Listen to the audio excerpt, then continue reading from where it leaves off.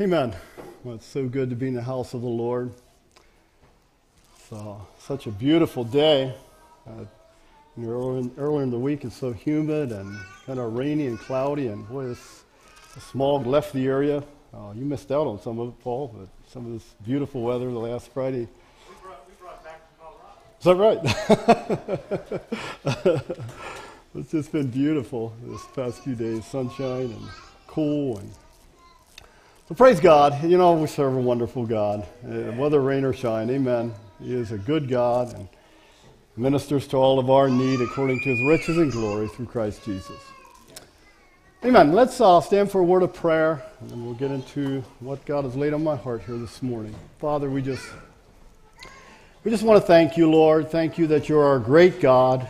You're the Father of our Lord Jesus Christ.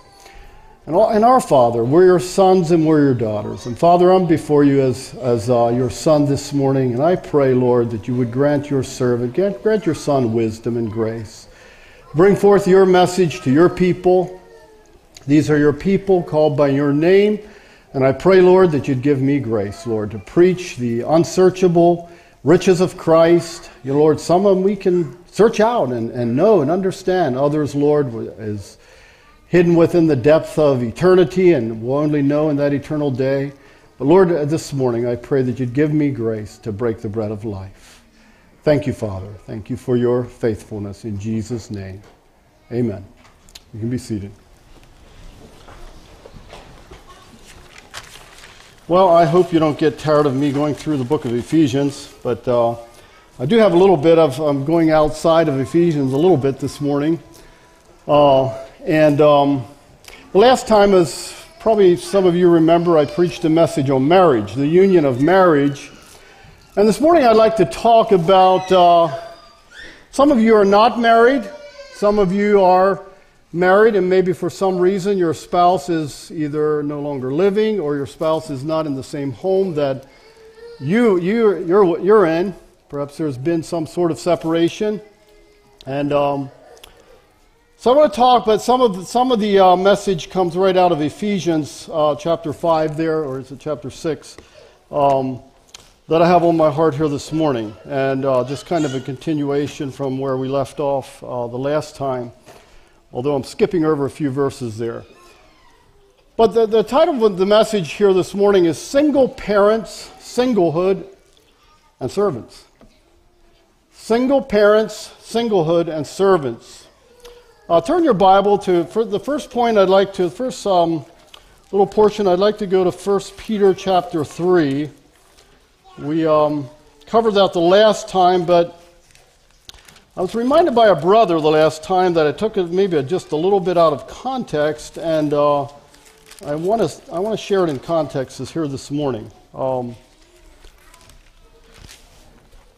and it has more to do with wives who have. Uh, or you could change the you could change it to husbands too with an unbelieving spouse. But specifically, it speaks to the wives here. It says, likewise, you chapter three of 1 Peter. Likewise, you wives, be in subjection to your own husbands, that if any obey not the word, they also may, without the word, be won by the conversation of the wives, while they behold your chaste conversation coupled with fear Whose adorning, let it not be that outward adorning of plaiting the hair and of wearing of gold or of putting on of apparel, but let it be the hidden man of the heart, and that which is not corruptible, even the ornament of a meek and quiet spirit, which is in the sight of God of great price.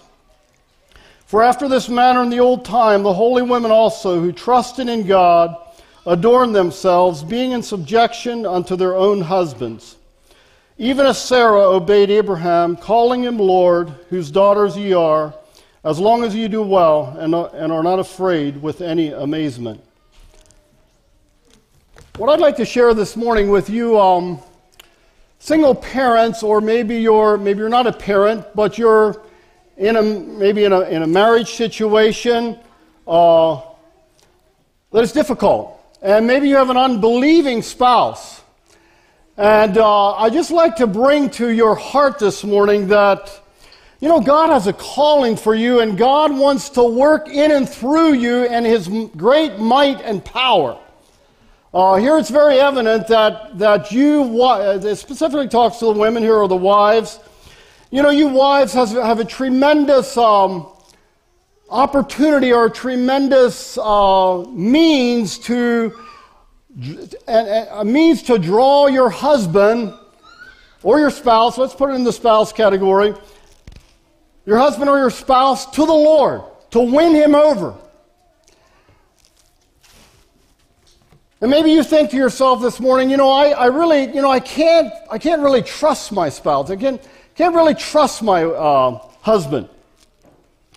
Uh, there's a, you know, I, I don't, and thus maybe in your heart you tend to, to get out of your place, out of your role as, as a, let's put it in the wife category just for simplicity.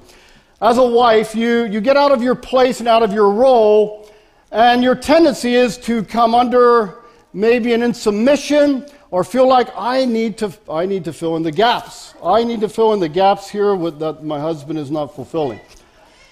Well, it's very clear in Scripture here that um, ye wives, and this is in the context of, again, of an unbelieving husband.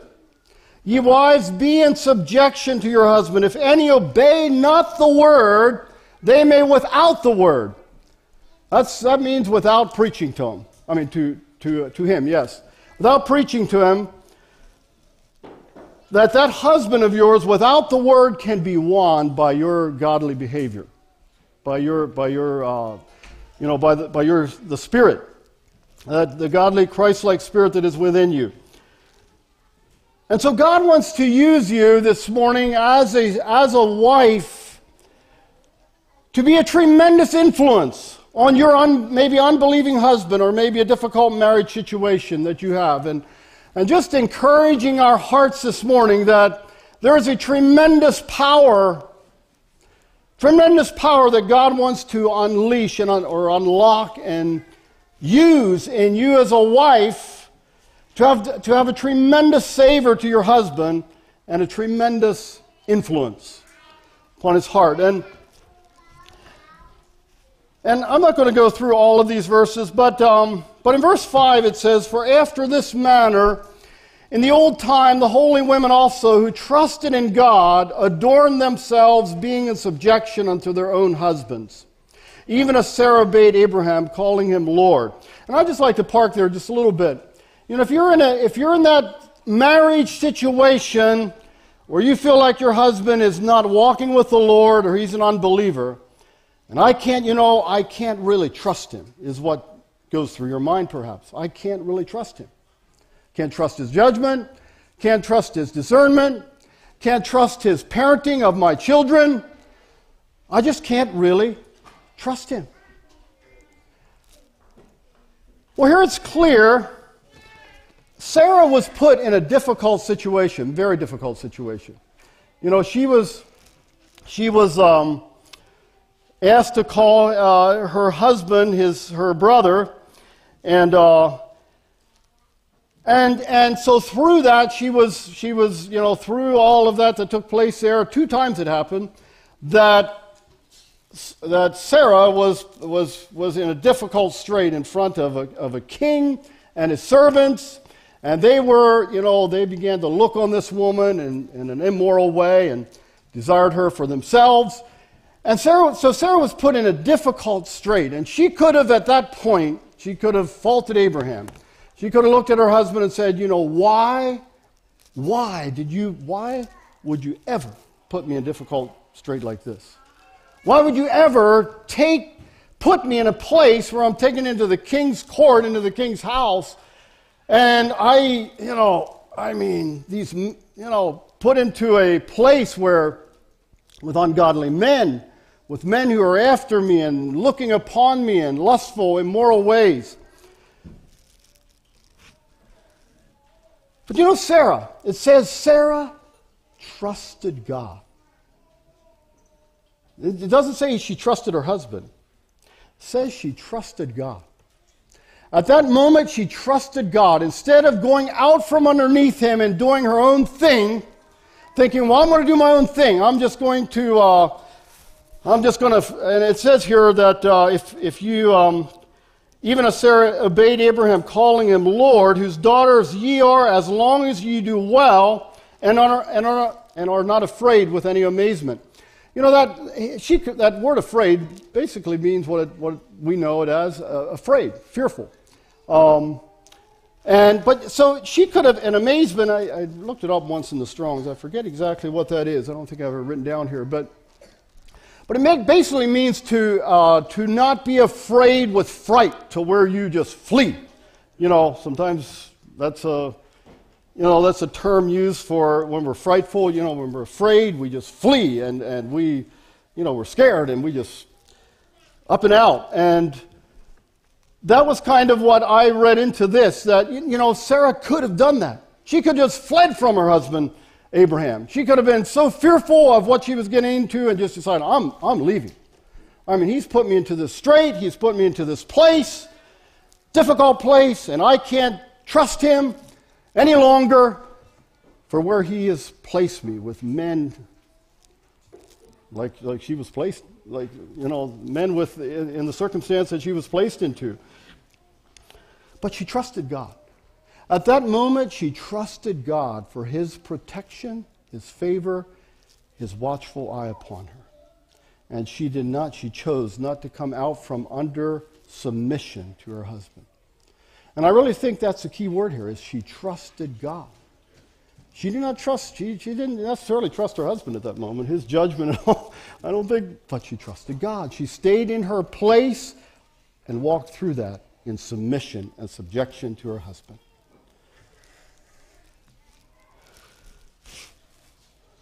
Also, I'd like to turn now to 1 Peter, I mean, uh, I'm sorry, 1 Corinthians, 1 Corinthians chapter 7. I know that some of you in this room have difficult marriage situations where there, there's actual separation have, has taken place. And You know, there's, there's, there's, um, I believe there's room for, there's no room, there's no room in Scripture for divorce, but I believe there is room at times when, when there is a very difficult situation where a separation may be, may be needful or is, you know, Scripture brings it out that, um, that is permissive at times in, in, in difficult circumstances. And so I'd like to read, I'd like to read in chapter 7, verse 10 starting verse 10 to verse uh, 14. And unto the married I command, yet, yet not I, but the Lord, let not the wife depart from her husband. So there's this little clause, but, but if, but and if she depart, let her remain unmarried, or be reconciled to her husband, and let not the husband put away his wife. But to the rest speak I, not the, not the Lord. If any brother has a wife that believeth not, and she be pleased to dwell with him, let him not put her away. And the woman which hath an husband that believeth not, and if, he, and if he be pleased to dwell with her, let her not leave him. For the unbelieving husband is sanctified by the wife, and the unbelieving wife is sanctified by the husband, else were your children unclean, but now are they holy. And I'd, like to also read just quickly, well, I'll go there just in just a little bit.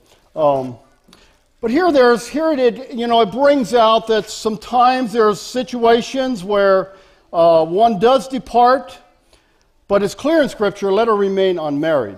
And like I said, I don't believe there's any room for divorce. Um, but the thing that I'd like to bring out to you single parents this morning, if you have children, if you're a single parent and you have children under your care, is again the power of your influence. The power of your influence, I'd like to turn just a little bit upon the children now. The power of your influence upon your, your offspring, your children, and in fact, your husband, who maybe, maybe you're in the same home, uh, but even if you're outside of this realm of being in the same home as your spouse, um, it says here the unbelieving wife or husband, let's put in the wife again, the unbelieving wife is sanctified, or the unbelieving husband is sanctified by the wife. And I just like to bring out this morning the power of the light and the Spirit of God or the Spirit of Christ within you is greater than that un- un- unsanctified spouse of yours. And it says, thus were, uh, if it would be the case that, that, uh, that if that would not be the case, then your children would be unclean. But it says, now are they clean? So your influence upon your children, even though you have an unbelieving spouse or uh, you're no longer in the home of, of, of your spouse, you, there's been a separation, um, your influence and power upon your offspring is greater than that of your unbelieving spouse. I believe it says that, that the home is sanctified by one believing partner, and it sanctifies your children. So I just want to encourage you this morning that, uh, you know, that the power of your life is still there. God has purpose for you. God has influence for you. I mean, God has, uh, uh, wants to make you an impact and an influence to your home and family, even though there's big and maybe difficult straits and circumstances and maybe things that are very un- uh, undesirable for that matter. Uh, turn your Bibles now to 1 Corinthians, uh, 2 Timothy, sorry, 2 Timothy.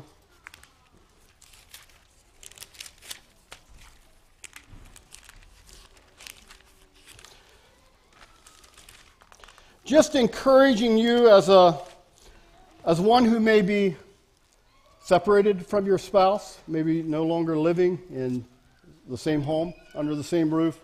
Um, always remember, again, the power of your influence upon your spouse, the one who you, who in your youthfulness had desire towards, and maybe there's been huge walls since that day. Remember the power of your influence today yet It says here in 2 Corinthians chapter uh, 2, verse 24, And the servant of the Lord must not strive, but be gentle unto all men, apt to teach and patient. In meekness instructing those that oppose themselves or that resist you. And your spouse may be at a place of resisting you. She may have your, her guards up and she wants nothing to do with you. But always remember, remember to carry that gentleness of heart and spirit that peradventure repentance may be given to her or him. It says in meekness instructing those that oppose themselves, if God peradventure will give them repentance to the acknowledging, the acknowledging of the truth, and that they may recover themselves out of the snare of the devil who are taken captive by him at his will. So I just want to encourage our hearts, you know, in your difficult marriage situation, remember to wear that jewel of gentleness and meekness and, and, and you know that your spouse yet can see the spirit of christ within you and peradventure be won to the lord and of course that would perhaps bring your whole marriage and home together okay let's go on to singlehood i want to back to corinthians 1 corinthians uh, chapter 7 again singlehood. I'd like to uh, just encourage you singles this morning. You know, I'd just like to start by saying singles in my life have been a tremendous blessing. When I, when I speak about singles, I speak uh, about young people who may be, you know, in the older age category. Maybe you're in your 20s, 30s, you know. Um, and you're, you're at the age you're wondering, will a marriage partner ever come along in my life? And I want to encourage you this morning. You know, singles have been a tremendous blessing to my heart. I, I, uh, I look at their lives and I see their, the way they're being used. I mean, they're being used in powerful ways. Some of them go off to Greece. Uh, there's one of them that writes us as a ministry about weekly, maybe bi-weekly or weekly, and just, just a word of encouragement to us. Aaron, you know about that, right? she, she has these little emails she sends out, and it's just, I don't know, it's, a, it's encouragement to my heart. So I just want to say that, you know, you have a tremendous place in the kingdom of our God, and Paul brings this out very clearly. In fact, he, I think he was single, and I'm still not convinced that singlehood is better than marriage, but, uh, but we'll leave that. but Paul brings it out that way. He, he thinks it's, uh, he's not sure if the Lord was telling him that, so we'll, uh, we'll kind of leave it at that. But anyway, it says here in chapter 7, verse 25 Now concerning virgins, I'm just going to read probably the rest of this chapter basically. Now concerning virgins, I have no commandment of the Lord, Yet I give my judgment as one that hath obtained mercy of the Lord to be faithful. I suppose, therefore, that this is good for the present distress. I say that it, that it is good for a man so to be. Art thou bound unto a wife? Seek not to be loosed. Art thou loosed from a wife? Seek not a wife. But and if thou marry, thou hast not sinned, and if a virgin marry, she has not sinned. Nevertheless, such shall have trouble in the flesh, but I spare you. This I say, brethren, my time is short. It remaineth that both they that have wives be as though they have none, and they that weep as though they wept not, and they that rejoice as though they, rejo- as though they rejoiced not, and they that buy as though they possess not, and they that use this world as not abusing it, for the fashion of this world passes away. But I would have you without carefulness. He that is unmarried cares for the things that belong to the Lord, how he may please the Lord. But he that is married careth for the things that are of the world, how he may please his wife. Verse 34 There is difference also between a wife and a virgin. The unmarried woman, careth for the things of the Lord, that she may be holy both in body and in spirit. But she that is married careth for the things of the world, how she may please her husband. And this I speak for your own profit, not that I may cast a snare upon you, but for the which is but for that which is comely, and that ye may attend upon the Lord without distraction. But if any man think that he behaveth himself uncomely toward his virgin, if she pass the flower of her age, and need so require, let him do what he will. He sinneth not, let them marry. Nevertheless, he that standeth steadfast in his heart, having no necessity, but hath power over his own will, and hath so decreed in his heart that he will keep his virgin, doeth well. So then he that giveth her in marriage doeth well, but he that giveth her not in marriage doeth better. The wife is bound by the law as long as her husband liveth, but if her husband be dead, she is at liberty to be married to whom she will, only in the Lord. But she is happier if she so abide after my judgment, and I think also that I have the Spirit of God.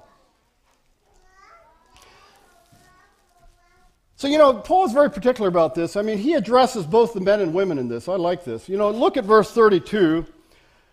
He says, I would have you without carefulness. He, this is now uh, the young men, he that is unmarried careth for the things that belong to the Lord, how he may please the Lord. But he that, he that is married careth for the things that are of the world, how he may please his wife. Then he addresses the women, the sisters.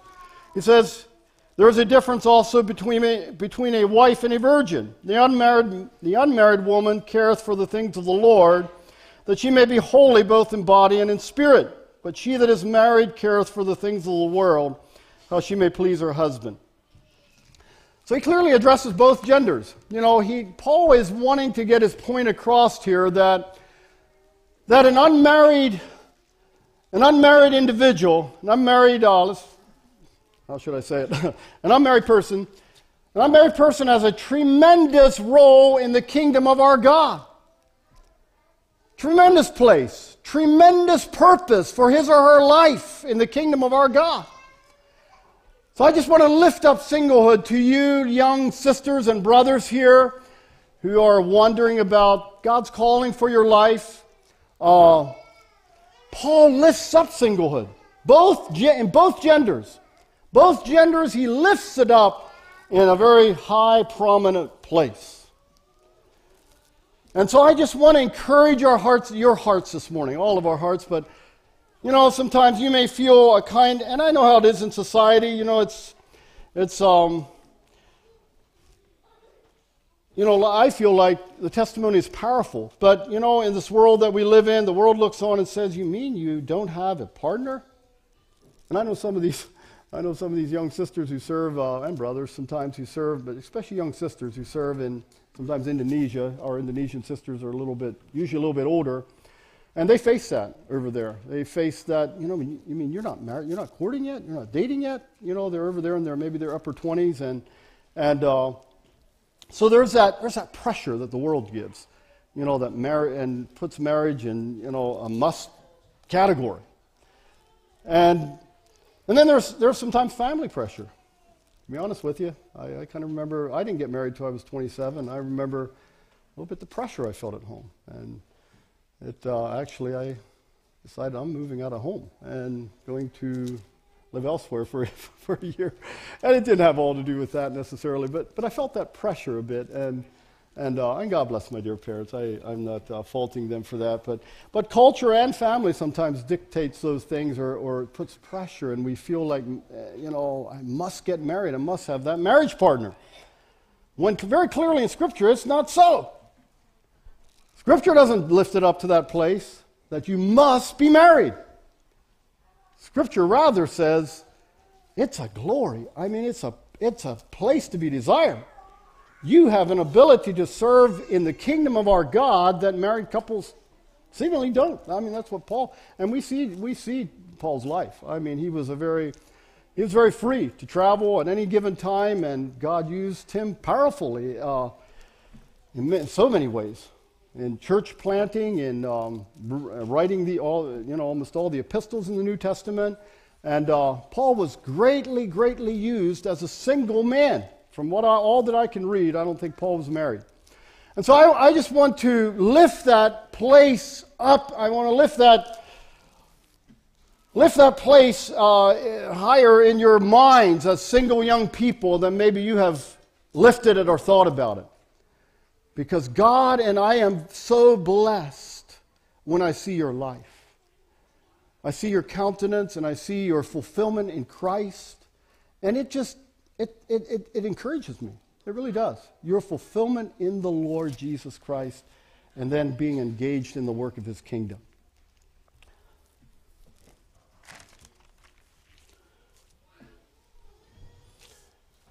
Like I said, your lives are powerful.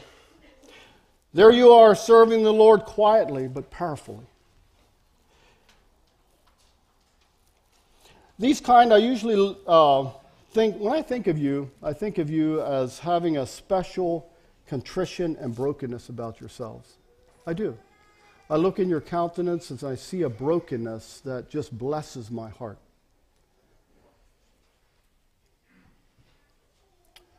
There they are, there you are, giving a lift, lifting the load, often available at times and, and involved in short and long term service as school teachers, missionary workers, or some other volunteer service opportunity.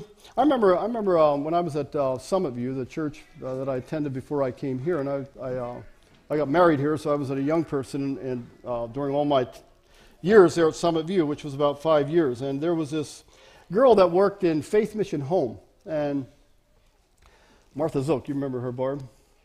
You know, she was just known as that's who she was known. That's what she was known by. A single young girl who was just serving there year after year after year. When I thought about Martha Zook, and even when I think of, her today, I think of her in service for the Lord, and particularly in, in that home of Faith Mission down there in Virginia. But, uh, but that's, that's what I think of Mar- Martha Zook, just in service all of her years that I knew her. And I am not even sure if she's married today, but um, so the influence of your lives is so powerful as with joy you serve the Lord, and the savor of your lives is so rich through the fulfillment that you have found in Jesus Christ.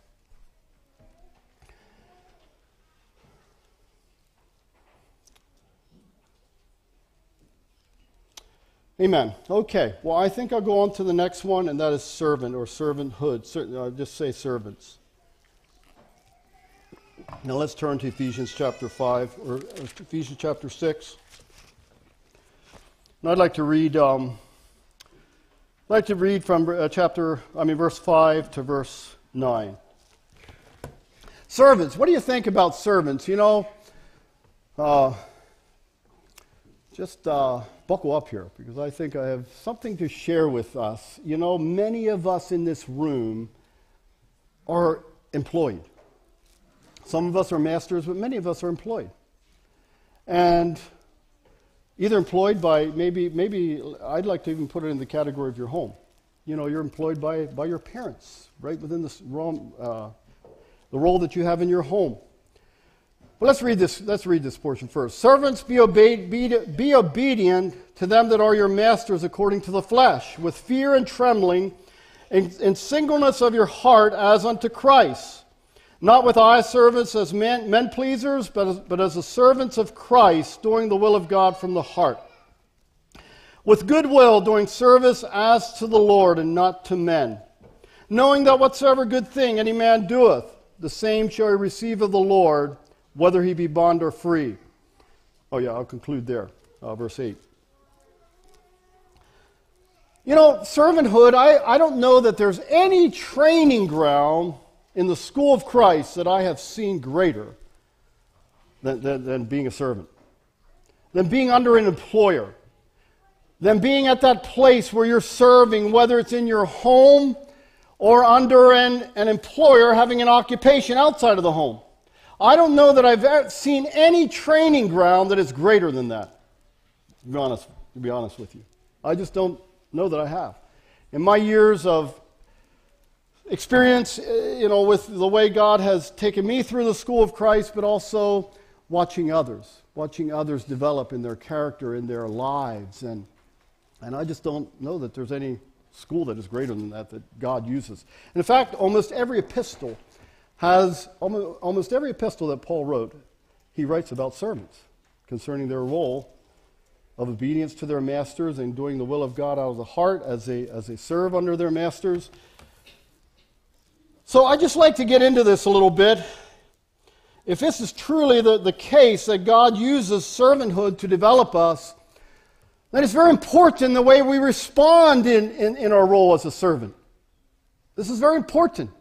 The way, what is our response to our employer?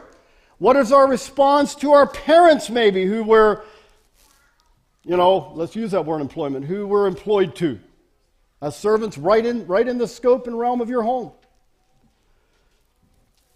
Let's turn to chapter uh, Luke, I mean Luke chapter 16 now. I'd just like to read a portion here.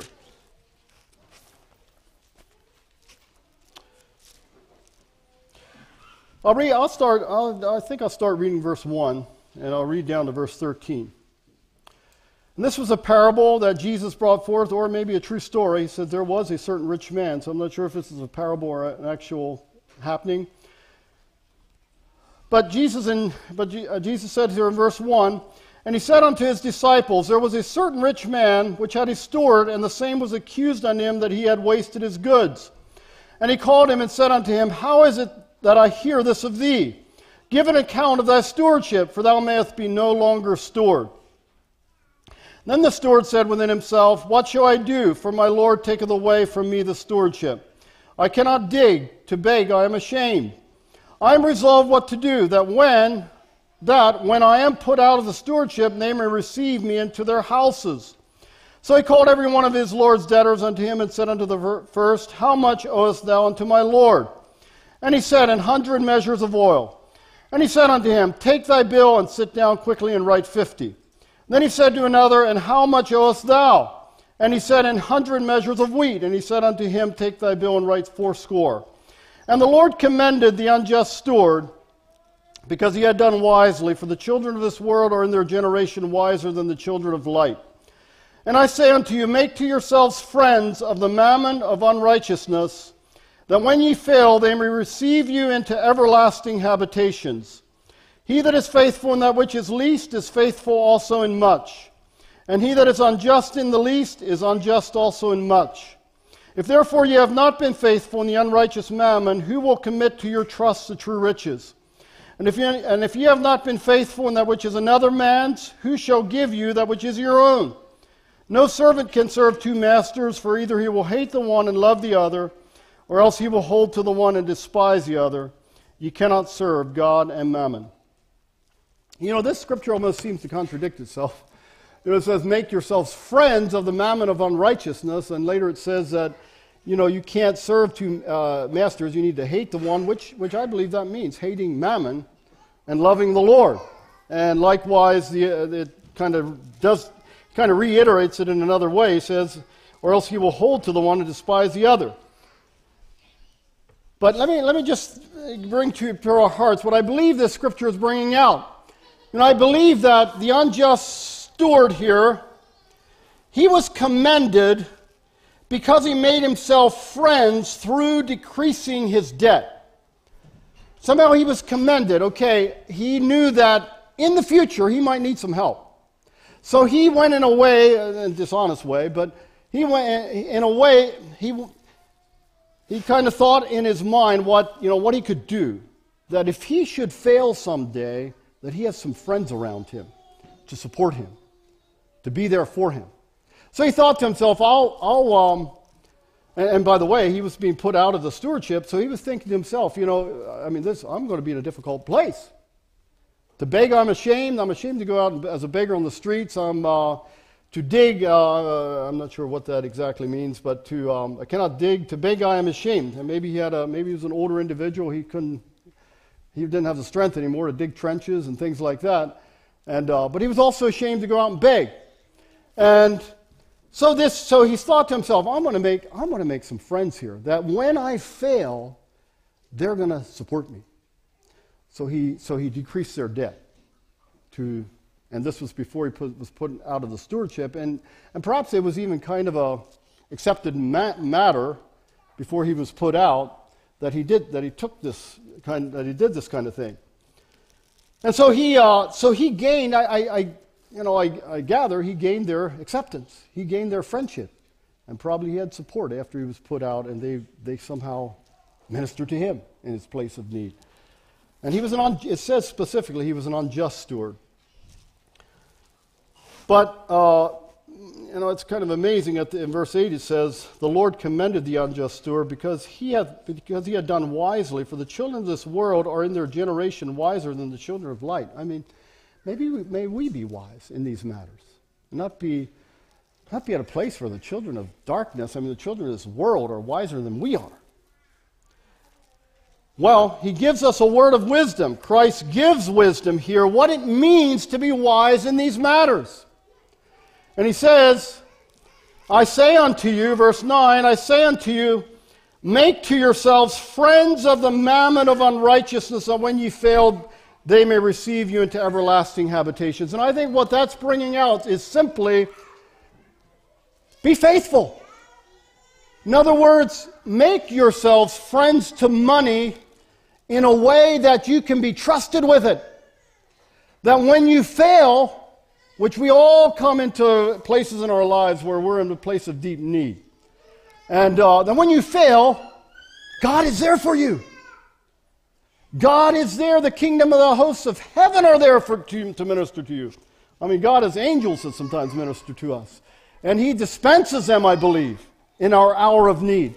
And I think God looks at that and says, This man or woman is he, he's, she's faithful. She's been counted faithful. He's been counted faithful. And does in your time of need, he's a friend to you, just like he was to Abraham. And, and with Abraham's faithfulness, he comes and ministers to that deep need of yours. I think that's one of the, one of the meanings that's being brought out here. The other one is, uh, says here, he that is faithful in that which is least is faithful also in much. And he that is unjust in the least is, is unjust also in much. If therefore ye have not been faithful in the unrighteous mammon, who will commit to your trust the true riches? And if you have not been faithful in that which is another man's, who shall give you that which is your own? How can you expect God to give you a ministry or a calling or some type of, yeah, some type of eternal purpose if you're, if you're not even faithful? That which is another man's in this life. If you're not faithful in monetary matters with your employer, if you think in your heart, i am just to, I'm one, I'm just going to try to get by with everything, and, and, uh, or just, or even the money that you, uh, the money that you, uh, the income that you obtain from him. You know, the daily, the, the weekly wage that you get, you know, that you're, you know, you're perhaps unfaithful in that. You use it to spend it on yourself, whether lavishly or, or just in, in a way that is the pleasures, pleasures of this world, God wants us to be good stewards of that which He's given us. We're not to possess anything in this life. Remember, we are not our own. We are bought with a price. We are the servants of Jesus Christ. God does not want us to count our monetary gain or our possessions as our own. He wants us to look at them as a, he wants, to look, he wants us to look at ourselves as stewards of that which He's given to us. But anyway, God, God tests us. He tests us in this area of monetary gain and possessions to see if we're faithful. to see if we're if what that which he's given to us, that which he's placed into our hands, if we're going to be faithful with those matters. Worldly matters, material matters, yes. It's simply tangible matters. You know, mo- monetary gain and possessions. Are we going to be faithful? He and then, you know,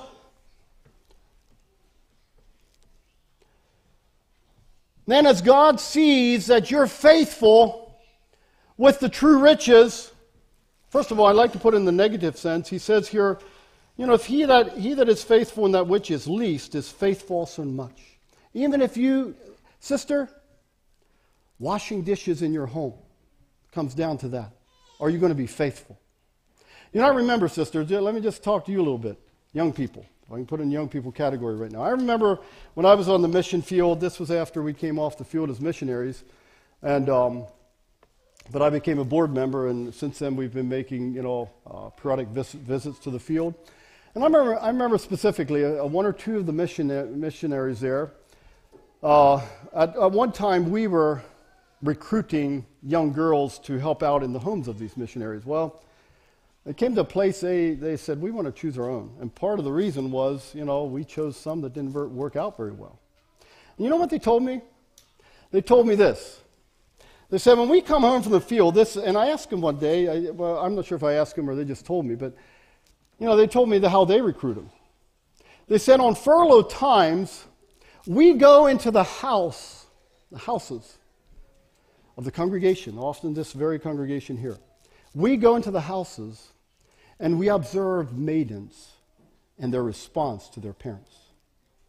We observe how they respond when they're asked to change a dirty diaper. We, we observe how they respond when they're asked to wash the dishes. We observe that.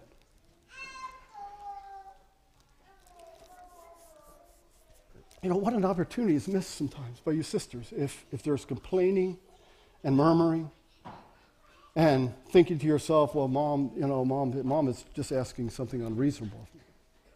They'll pass over you. They passed right over those.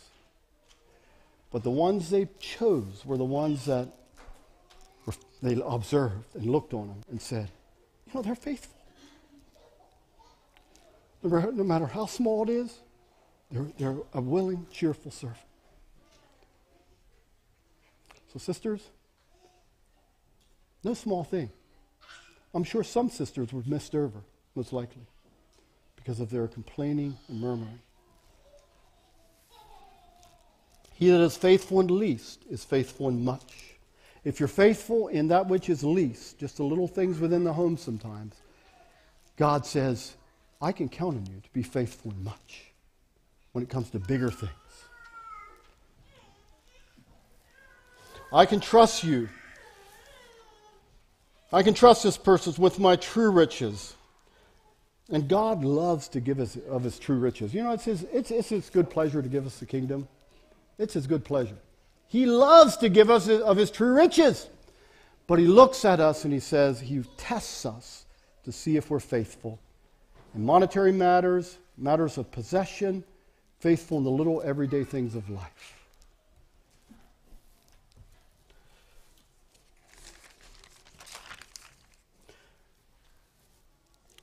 So I'd like to go now to Titus yet, and I'll close here just shortly. Titus chapter 2. What does it mean to be faithful? It's more specifically here in Titus in your place of occupation. It says here in Titus, servants, it, it, addresses servants again. Almost every epistle, and like I said, here it is in Titus also. Chapter 2, verse 9 Exhort servants to be obedient unto their masters, unto their own masters, and to please them well in all things, not answering again, not purloining, but showing all good fidelity, that they may adorn the doctrine of God our Savior in all things. For the grace of God that bringeth salvation has appeared to all men, teaching us that denying ungodliness and worldly lusts, we should live soberly, righteously, and godly in this present world, looking for that blessed hope and that glorious appearing of the great God and our Savior Jesus Christ who gave himself for us, that he might redeem us from all iniquity and purify unto himself a peculiar people, zealous of good works. Then Paul tells, Tim, Paul tells Titus, These things speak and exhort and rebuke with all authority, let no man despise thee. Very, you know, Paul, Paul, uh, Paul was very clear about this. He told Titus, Preach this, exhort, preach it with all authority. Let no man despise thee. This is what godliness looks like. This is godliness in everyday shoe leather. I mean, that's, that, that's what I believe Paul, Paul was saying. It says here, here uh, servants be obedient unto your own masters and please them well in all things, in everything. Please your masters. This is, let me, let me say this. You know, I've just brought out the scripture about he that is faithful in little is faithful in much. Well, Here's, here's, here's a tip for you. Here's a pointer. Please them well in all things. Have the heart of bringing pleasure to your employer. To be profitable to him. To be a blessing at the workplace. That he, you know, to, to where he's just, yeah, he's just so blessed to have you a part of his business or a part of his uh, company and it says here, to please them want all things, not answering again. And this comes down again to our very homes, sisters and brothers. You know, not answering again simply means to not talk back, as, as Trickschwätze, right, Lester? and then German. Yeah. I mean, we're used to that. I was used to it in German. You know, when I grew up as a child, do not, said it Trickschwätze. That's, that means you, you're not supposed to talk back when your parents give you a directive, when they give you a command. And here's the same thing with employers. It says, not answering again. It just simply, and I looked it up in the Strongs, it just simply means to not talk back, not debate, not, not uh, push your opinion on your employer. And you might, you might even sometimes have a better, uh, you know, you're used to your work and you're used to um, your way of doing things, and you're, he doesn't always have his feet on the ground. And, and uh, you might think to yourself, well, I, I have a better way of doing this. But no, God calls you to not answer back, to not push your opinion and feel like it has to be your way. Even if at the end of the day it doesn't, doesn't come out right because, you're, you're, because you followed your boss's direction, it's rather a commendable way and a way that God is approves and is blessed with, rather than talking back and trying to push your point and, and, and your agenda and your way. It says, not purloining, the next verse says, not purloining, which purloining simply means not holding back that which you could give to your employer. That's what that means. It means to not hold back. You know, you're on the job site and it's hot or it's cold and and you feel in your heart, you know, you just kind of get a lazy streak, and I'm just gonna, I'm just gonna kind of doodle my time away here, and and um, just kind of uh, not put my all into it, and your bones are uh, aching a bit, and so you just kind of, you know, haphazardly go through your day, and uh, very clearly here it says not purloining, which means not holding back that which you could give to your employer. And, and young people, I'd like to put it, and children, I'd like to put it into the, into the very realms of your home, homes. It also can very well mean, it also, I think, we can bring it right down to our homes that you don't talk back, that there's not this talking back thing to your parents and holding back that which, that which you could give.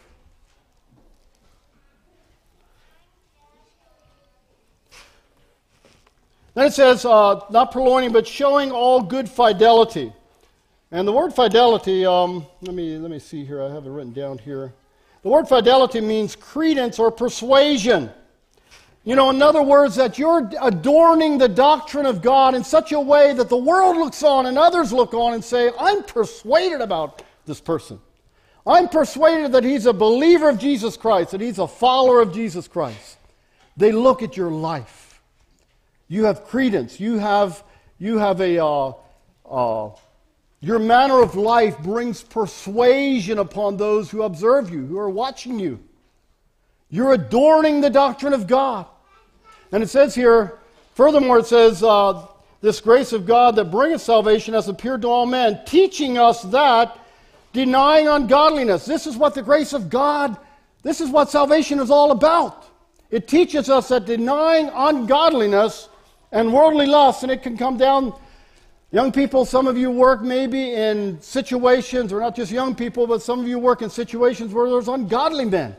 And they would want to pull you into their grip and talk about on Monday morning about their weekend fling and things like that. Do you enter in? Or are you faithful at those moments to teach those around you that I am living a godly life?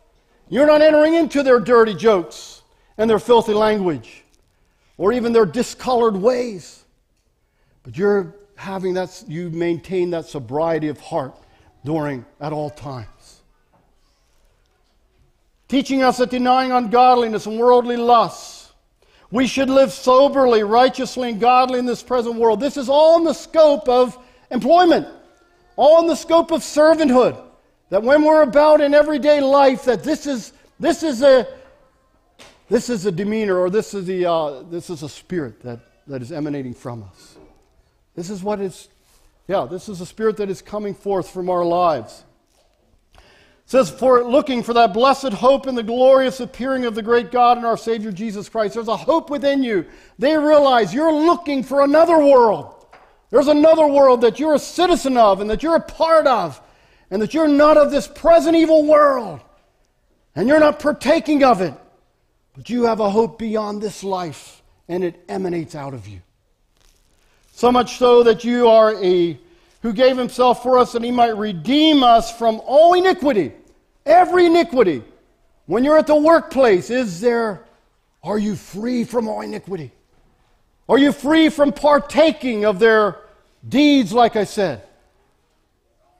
partaking of their, you know, yeah, whatever it might be that they're conveying from their spirit, who gave himself to redeem us from all iniquity and purify unto himself a peculiar people zealous of good works. And again, God wants to use you as servants. God wants to use you in the role of your occupation that you, others look on and say, you know, he's peculiar. He is not, it seems like he's almost not a citizen of this country. Well, praise God. That's the case. Know, I just want to encourage our hearts that God desires that your testimony at the workplace to be such that you per, that the Spirit of Christ just permeates out of you. Some of it has to do with not partaking of, of evil at the workplace, but other, other, the other thing, the other thing comes down to just practical everyday life being faithful. Being faithful at the job, not holding back, doing what your foreman or your employer is asking of you. Just simply being faithful. Comes down to practical matters as well.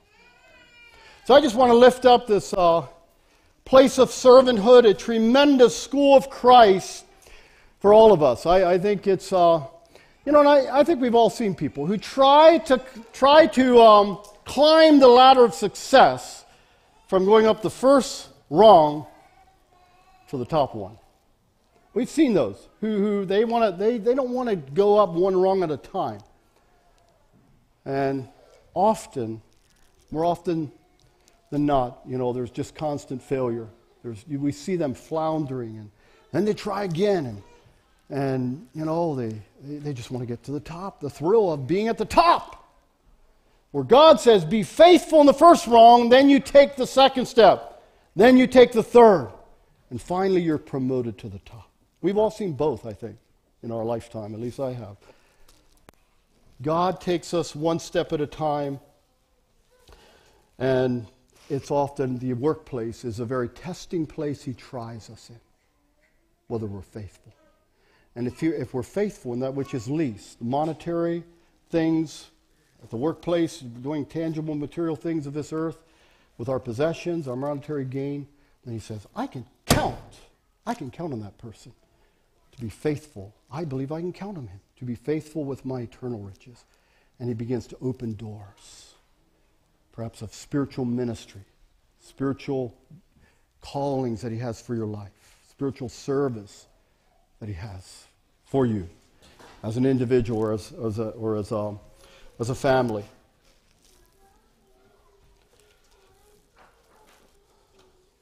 Okay, I'd like to close here. In closing, whether you're a single parent, single, singlehood as in not married, or a servant to an employer, what God marks is faithfulness. God marks his faithfulness right where you're at.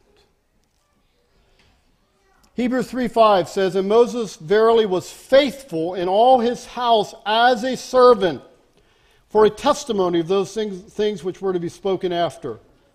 1 Samuel 22:14 Abimelech said of David, And who is so faithful among all thy servants as David, which is the king's son in law, and goeth at, at thy bidding, and is honorable in thine house?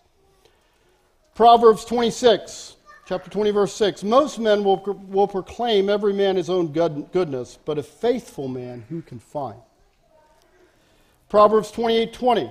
A faithful man shall abound with blessings so, brother, sister, no, no matter what your situation or circumstance, God looks on at the man whose heart is wholly turned to Him. And you know, Scripture says his eyes rove to and fro upon the whole earth to show Himself strong on behalf of those whose hearts are perfect toward Him. And that word perfect just means wholly turned to Him. You have a heart that is wholly after the Lord.